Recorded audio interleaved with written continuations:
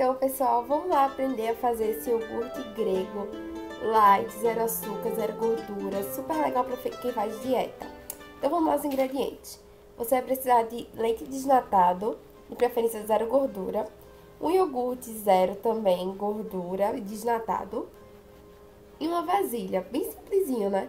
Dá para todo mundo fazer fácil, fácil. Então, a vasilha tem que estar bem limpa, de verdade. E a gente vai colocar os 2 litros de leite aí dentro do, da vasilha. Os ingredientes vão estar aqui lá no blog, no post do blog. Então, vai colocar os 2 litros de leite dentro dessa vasilha. Vai colocar no micro-ondas e vai colocar mais ou menos uns 4 minutos para que o leite fique com 40 graus. Ele não pode ferver, não pode ficar quente. Você tem que botar o dedo dentro do leite e aguentar o seu dedo lá dentro, sabe? Não pode ficar muito, muito quente, não. Então, passou os 4 minutos, a gente vai tirar, o leite vai estar tá morno assim, com seus 40 graus mais ou menos. E a gente vai, eu vou mexer um pouquinho, que é pra, tipo, misturar um pouquinho a temperatura, ficar tudo igual, sabe? Não ficar uma parte, sei lá, eu acho bom. E aí você vai derramar todo o conteúdo do potinho do iogurte dentro do leite. Todo mesmo. E depois você vai mexer esse leite para que esse iogurte dissolva no leite, ele volte a ser leite, sabe? O leite fique, é, o iogurte derreta todo no leite. Depois de todo derretido, derretidozinho que você vê assim que o leite tá, não tá sem bolinhas do iogurte, você vai tampar bem tampadinho essa, esse tapa-L tampa bem direitinho, mas aí eu resolvi usar um papel filme para ter certeza que não vai entrar nenhum ar enquanto ele vai estar, tá, passar madrugada, né? Dentro do, do forno. Eu fiz essa receita de noite. Aí eu deixei ele dentro do forno até outro dia de manhã, até umas 8 horas da manhã. Eu acho que o cálculo foi mais ou menos de 12 horas, por aí. Mas dentro do forno desligado, minha gente, pelo amor de Deus. Então aí eu tampei bem direitinho o papel filme. Aí você vai cobrir o forno com a toalha ou com algum lençol, alguma coisa, o forno desligado, minha gente, pelo amor de Deus. E vai fazer uma caminha com o tapaué, fechar e deixar aí. Então no outro dia de manhã eu acordei e fui ver como tava.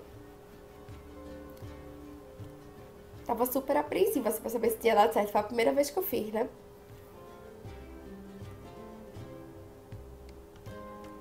Aí você vai ver que, que o iogurte vai estar bem durinho, com textura de iogurte mesmo, tá vendo? Então, agora a gente vai pro próximo passo. Vai precisar de uma panela, um recipiente e uma... E uma... Qual é o nome disso? Esse negócio aí que vocês estão vendo. E vai cobrir com, com um pano limpo também. E derramar o conteúdo dentro dele. Cobrir direitinho. Ah, uma peneira cobrir direitinho com pano e tal e vai pra geladeira. Eu fiz isso com todo o conteúdo daqui, com várias panelas. Vocês podem ver a panela, a peneira, um paninho limpo em cima da, da peneira. Derramou o conteúdo dentro da peneira, fechou. E coloquei dentro da geladeira. E fui embora pra faculdade. E quando foi de noite, lá para 7 horas da noite, 8 horas, eu tirei da geladeira. Então, vocês vão ver que saiu o soro que escorreu todo do, do iogurte, né? Aí eu tirei e assim, às vezes o iogurte fica bem grudadinho no pano, como vocês estão vendo aí.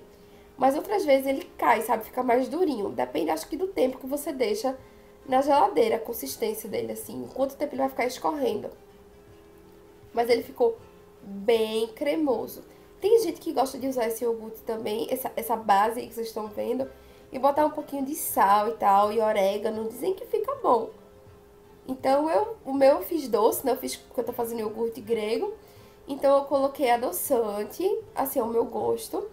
E botei a essência de baunilha também. Essa daí é meio amarelada, mas deixou meio amarelo, sabe? Mas tudo bem. Então, eu mexi bem pra misturar o, o adoçante e a essência de baunilha.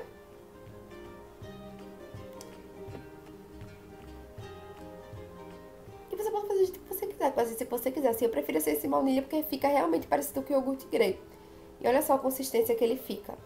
Fica bem durinho, bem bem gostoso mesmo, ficou uma delícia. Então, ficou assim, pessoal.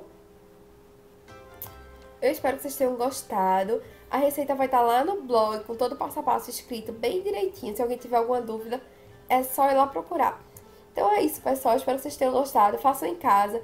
Me marquem lá no Instagram para mostrar que vocês fizeram. Um beijo, se inscreva no canal e até o próximo vídeo. Tchau!